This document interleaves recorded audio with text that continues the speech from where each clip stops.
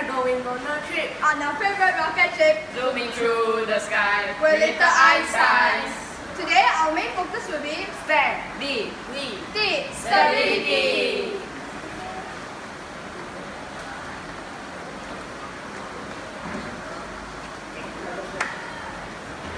Have you guys ever tried chrysanthemum tea? This drink is delicious. With less sugar and no other preservatives, you can buy this drink at any local store for a cheaper price of 2 ringgit.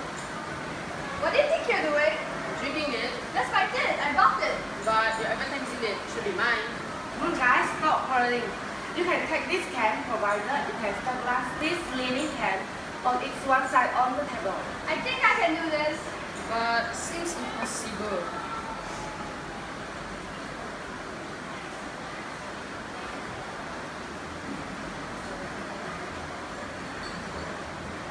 Ta-da! The eye can. Stable on the table.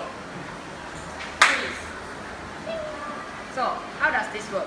The volume of liquid in the can is such that a line through the center of gravity passes through the bottom of the can as shown. This makes the can stable on the table. As long as the line through the center of gravity of the tin does not fall past the base of the tin, the tin will not topple and so it's stable. Well, that's pathetic. I want to challenge you two to stabilize nine nails on top one. That's easy.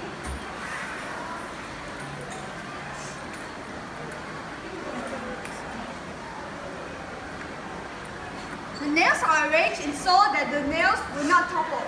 It's balanced on both sides.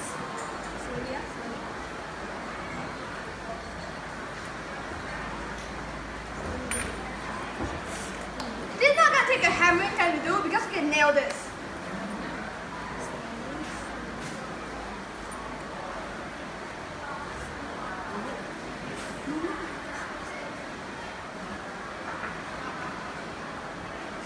See The nine stable nails.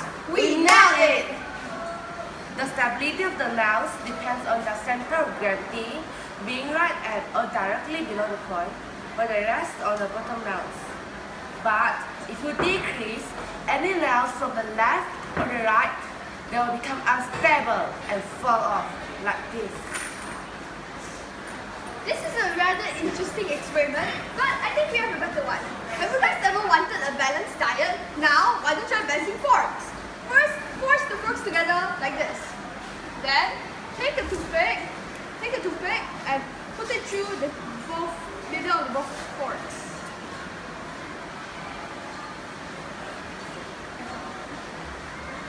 Then, place it carefully on top of the bottle cap.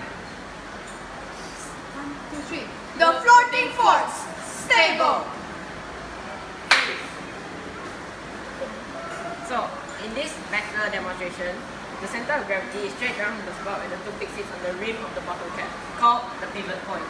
Look closely at the balancing forks, you'll notice that the handles are actually well curved below the toothpick. This actually moves the center of gravity directly below the point where the toothpick touches the rim of the bottle cap. Well, I just want to throw a question out here. A couple of years ago, there was a devastating earthquake in Haiti, and many of these buildings just came crumbling down. A few months or weeks later, there was another earthquake. Moreover, the one in Chile was much stronger. But here's the weird part: there wasn't a lot of damage compared to Haiti. Haiti, a weaker earthquake but tons of damage, while Chile, a stronger earthquake but minimal damage. Well, why? Why? Why? But if I show you marshmallows, spaghettis, and toothpicks, telling you we're about to do an experiment about natural disasters, you'll be like, Wait, what? Marshmallows, spaghetti, toothpicks, and a natural disaster? Marshmallows, Spaghetti? Toothpicks? yeah, we're gonna do that. So here, as you can see, I just made a 2-4 high marshmallow structure stable on the table. We use marshmallows to increase the flexibility and stability of the tower. This is stable because gravity is always pulling on it. Now we're gonna simulate an earthquake. Ready? Drum roll please! See? Stable. on the table. Well, for engineers, especially the state of Sabah, to be ready to use the stability concept for building construction in order to minimize the damage of the earthquake. Remember, a wider base, A lower center gravity. And flexible materials. can increase the stability of an object. Thank you.